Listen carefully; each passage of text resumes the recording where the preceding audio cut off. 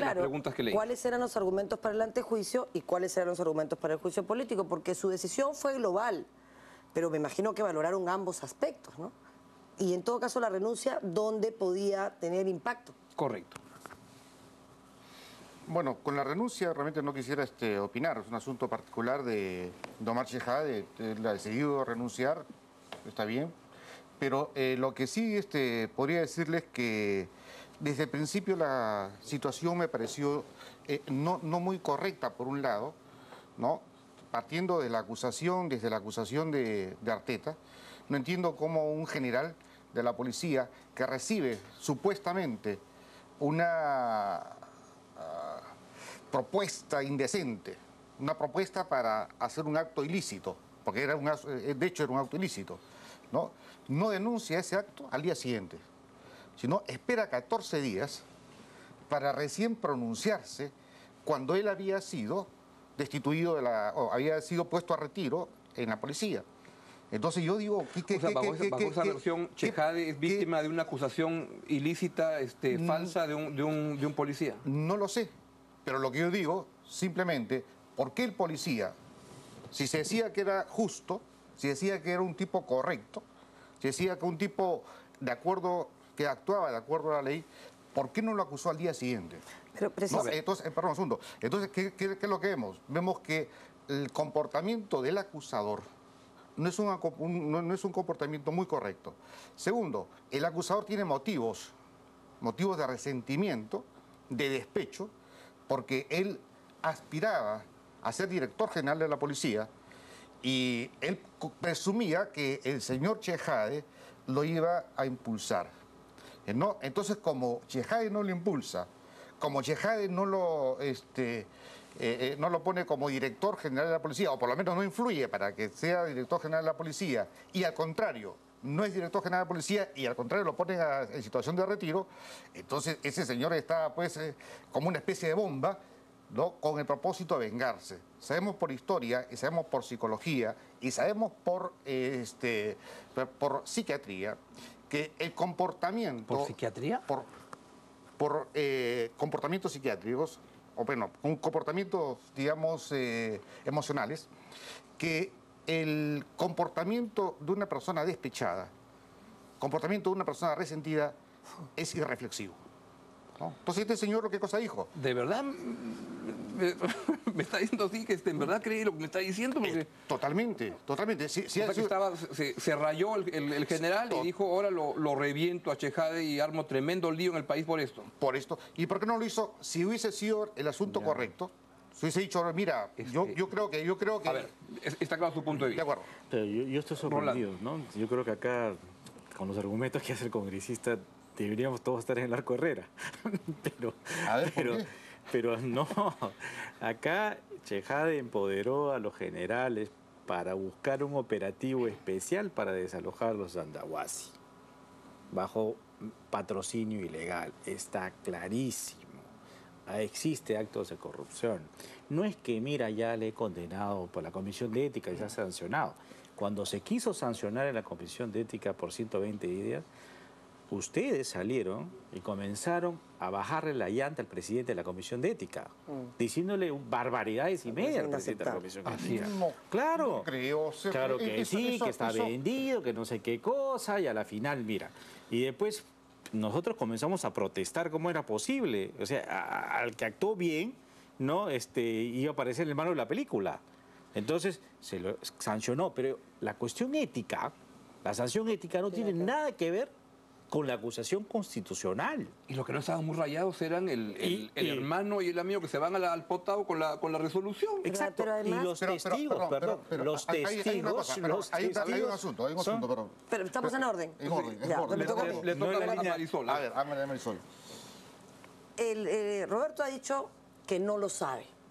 Ese solo aceptar que no lo sabe significa que podría estar equivocado. Pero yo tampoco lo sé, quiero saberlo. Y es lo que el país quiere, saber qué pasó. Ahora, no puedo aceptar que el general Arteta, que no se puede defender, haya sido, no lo conozco además, ¿eh? lo conozco de las reuniones en las cuales él ha rendido sus manifestaciones, haya sido maltratado y vilipendiado por el propio señor Chejade, pésima defensa, y en esta ocasión por, Roberto, que no es su voz, es la voz de su bancada, Porque en primer lugar él no, él no convocó al vicepresidente. El vicepresidente lo convocó a él. Sí estaba bien que se fuera a sentar en esa mesa cuando estaba a cargo de Andahuasi, pero no después cuando lo denunció. En todo caso, así como él no lo sabe, no lo sé yo y no lo sabe el país. Y la única forma de que supiéramos si había chantaje o no, si quizás él era una víctima, si hubo potado o no hubo potado porque los dos Migueles dicen, no, no fuimos, pero hay cinco personas en el potado, cinco. Que Chejade también ha dicho que uno es un delincuente, que el otro depende de Arteta, que el otro es su amiguito. Bueno, le quedan dos, cinco. Dicen que sí vieron a los Migueles, incluso los describieron físicamente y dijeron que estaban fumándose un cigarro. El presidente de la Corte Suprema dice que el grupo WON, en los 11 expedientes que tiene, hay, el número exacto no, me lo recuerdo, pero son 10 en Guaura o en Huacho y uno en Lambayeque. Un expediente se perdió y lo encontraron en la basura.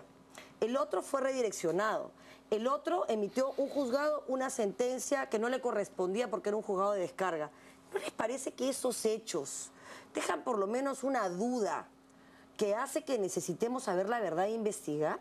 O sea, lo que ellos han hecho ayer no es evitar que lo, que lo inhabiliten y que lo destituyamos cinco años. Eso sí se podía discutir porque era un tema político. Ahí acepto toda la crítica que quieran y todo el análisis que quieran. Yo sí creo que se le debió destituir, pero en todo caso, ¿dónde está la explicación que dan para haber negado la posibilidad al país de que sepa qué pasó? Porque lo que han hecho ayer es archivar la investigación, ante juicio, donde no hay que establecer responsabilidad. Así que cuando el señor dice ha sido declarada mi inocencia es mentira, el único que puede declarar su culpabilidad o su inocencia es el, peor, Poder Judicial. Eh, y él se lo ha negado a sí mismo. Señor presidente, por su intermedio me pide. Pero, perdón, pero no, fue... Él habló. No, pero es que esto, lo que han hecho, lo que han hecho es sacarle fuera de la órbita del Poder Judicial para que determine con convicción y certeza si existe o no para declarar si es decir, culpable o inocente. Eso no va a pasar. Así es simple. no, vale la pena ya por, por Chejade, por, por, Chejade, por, él mismo. Pero, porque intuyo que quiere ser político. Mira, hoy en día Chejade lo habrá salvado este, 13 votos pero es un zombie político, porque no tiene la confianza el ciudadano. Mire, ya no sabe cuándo tiene confianza ni para hacer lobby, porque es muy rochoso sentarse con, con, con en un restaurante porque uno dice, este me está, este, ¿qué me está ofreciendo? Bueno, eh, pero este, eh, habría que separar bien el asunto, ¿no? O sea, yo no quiero... El, el, asunto es Chejade. Pues, pero yo no quisiera este, eh, presuponer que Chejade es un caer político realmente nunca se sabe. O un zombie político. se camina así, este, pero muerto, ¿no? Un cadáver que, que, camina. Pues yo no creo que, este, que pueda ser, no quisiera yo entrar en ese, en ese aspecto.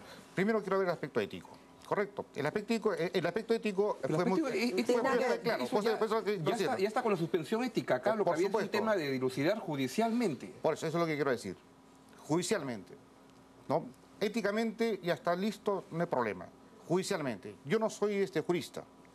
Pero lo que veo y quiero ver es el comportamiento del acusador. O sea, quién acusa y cuándo acusa. Entonces, cuando veo que una persona que se dice intachable, que se dice que es muy justa, acusa 14 días después, cuando sufre un percance en su carrera política, en su, carrera profesional, entonces me parece que es bastante sospechoso. Pero además de ello, si decimos nosotros que una persona eh, es culpable o no es culpable, o no, sabemos si es o no culpable y queremos someterla a otro fuero, tendríamos que decirle, bueno, sométete a otro fuero, no hay problema, veamos el asunto. Pero no suspendamos a esta persona, no le quitemos su eh, capacidad. Pero al final no, va a haber nada, pues. Lo han limpiado, lo han sacado. Yo, creo, yo creo no, que... No lo van a poder investigar. sí, Roberto, perdóname, perdóname, sí. O sea, lo que yo digo, este, si se quiere, inclusive se puede investigar. Ya no, Roberto, eso ya no, se puede. ya, no se puede, Roberto, ya lo impidieron ayer. Ya lo limpiaron totalmente. no lo han limpiado. Lo han limpiado, Roberto, acéptalo. Lo has limpiado tú junto con 12 personas más. Tienes derecho a hacerlo, pero por lo menos asume la responsabilidad por tu voto. Yo asumo la responsabilidad por mi voto. Y, además, ha sido un voto totalmente consciente. ¿Seguro? Yo no creo, no creo que una persona puede ser desaforada, puede ser privada de sus atributos políticos. No. No. Simplemente porque tal vez pueda ser o no y para que, se hizo tanta campaña para decir en mi gobierno decía el candidato Humala vamos a ser totalmente limpios y hablaba de este, todos eran ladrones y él iba a poner el orden y todo. Y, ahora a los cinco meses claudicar y, luego de haber pedido el presidente de la República él quería que se vaya. No se dan cuenta que lo están haciendo quedar como un pelmazo al presidente que al final el que queda peor es el presidente pero además, Roberto, tú, estás hablando del desafuero. el desafuero no tiene nada que ver con la investigación. Por eso me mortifica tanto que no se haga la separación. Una cosa es la investigación, que no supone ni siquiera suspensión si no se quería, que simplemente se investigue, qué es lo que el propio Chejade dice en su famosa ley de, de, eliminar la inmunidad. Y otra cosa completamente distinta es el juicio político, donde sí se pedía la destitución y la inhabilitación. O no lo entendieron, doble responsabilidad porque debieron haberlo estudiado, o lo entendieron y lo confundieron a propósito para entrar en este juego de explicaciones jurídicas que no tienen ningún sentido, cuando finalmente lo que quería, su derecho, es que simplemente no pasara nada más. Pero acepten que le han negado al, país la posibilidad de saber la verdad. Esa es su responsabilidad, gracias a Dios, no es la mía. Rolando. Y el propio Chejades, cuando dijo, se le pidió la renuncia para, para vicepresidente, dijo, no, yo no voy a renunciar, porque yo soy inocente. ¿Cómo? y ahora renuncia, quiere decir que es, que es culpable. Él mm. se autoinculpa. Él está diciendo... ilesos políticamente de esto? Al gobierno lo han mellado, pero totalmente. hoy en día es un gobierno que sabe qué cosa parece un gobierno aconchabado con la corrupción. No, no, de ninguna forma. De ninguna, forma, De ninguna forma. ¿Usted no cree que la gente que está viendo, la gente en la calle, qué cosa piensa hoy en día del presidente Ollantumala? Yo, yo, yo, yo, el, mejor de los casos es un presidente que es chantajeado por su abogado personal que funge de presidente y lo tiene agarrado y, le, dice, tú no me puedes denunciar porque yo fui abogado del presidente y de la primera dama. No, no me parece. y además lo ha, filtrado y lo ha soltado. por favor. Y si me sueltan a mí, se friegan porque yo los reviento. Y tenemos a un presidente que solamente tiene seis meses en el cargo y es este, alguien, un, un, pato ringo por los próximos cuatro años, años, y medio. Y su bancada lo ha dejado por proteger a este señor Chejade. Pero, Augusto, me parece que tú ya lo estás condenando, ya, ya lo estás sentenciando, ya para ti este, lo este señor... al juez. El ah, juez pero, lo, que tú, lo, que tú, estás diciendo es muy grave. Porque tú estás diciendo que él le está chantajeando inclusive hasta la pareja presidencial. Por Dios, no, no, no, no podemos llegar a, este, a ese extremo. No podemos llegar a ese extremo. Chejade lo ha dicho. Pero no, no creo que lo haya dicho. Pero, pero lo que yo quiero decirles, lo que quiero decirles es que de ninguna manera nosotros podemos culpar a una persona y decir, bueno, vamos a juzgarlo y vamos a chantajearlo o, vamos a hacer tal cosa. Lo que, tenemos, lo, que, lo que quiero decirles es que en el país, yo he recibido esta semana, eh, este, hoy día muchísimos este, correos ¿no? y muchísimas llamadas telefónicas. Me dice, ¿cómo es posible que la gente más corrupta, que la gente que, que está más manchada en el país, ¿no? acusen a Chejade? ¿A, quién se refiere ahí? A los que están acusando. ¿Quiénes? No, Marisol, o sea, yo soy el más corrupto del país. Porque yo he visto bajezas como el señor Yehude Simón, que suele ser muy tranquilo, pero el señor Yehude Simón ha tenido la bajeza de la señora Marisol Perestello a ir en plena votación, mandar en un Twitter diciendo si a ti te pagan las mineras. ¿Le parece justo que hagan esas cosas? Pero eh, no, no, digo que sea justo, no. Lo que él dijo... ¿Cómo, cómo, cómo que no? O sea, lo que, lo que él dijo es que habían 20 congresistas que eran pagados por las mineras. Eso es lo que dijo. Dios mío, ¿sabe qué cosa?